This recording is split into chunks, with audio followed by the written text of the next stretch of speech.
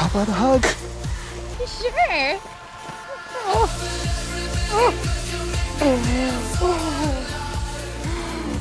I love pillows. Me too. Wow. You're really sweet, mister, but I'm waiting for my dad and his friend, so you'll excuse me.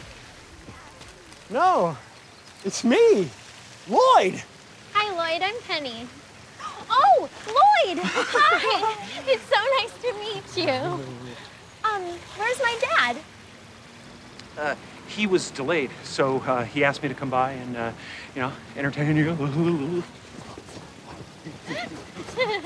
Until he can meet up with us. I think he wanted us to have a chance to bond. Bond. Great. Are you hungry? Can I get you something to eat? Sure. Awesome.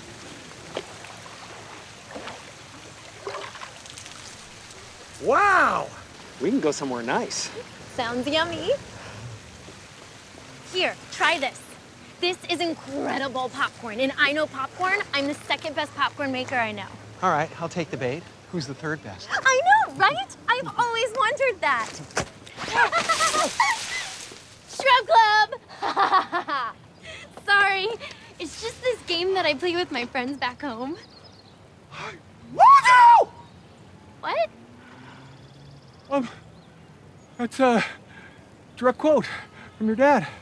I love you. His words. Hey, wait a second.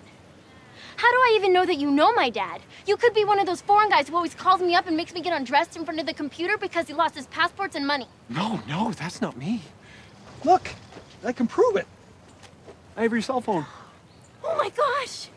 No wonder no one's been calling me. Oh.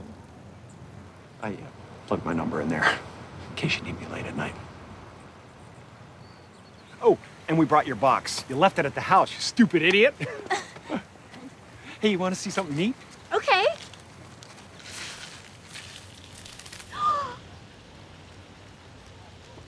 Are you sure that it's okay for birds to be eating pop rocks? I mean, you think it would be bad for their teeth.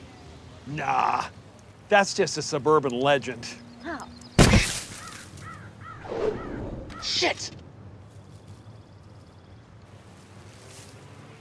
Spontaneous combustion, however, totally real.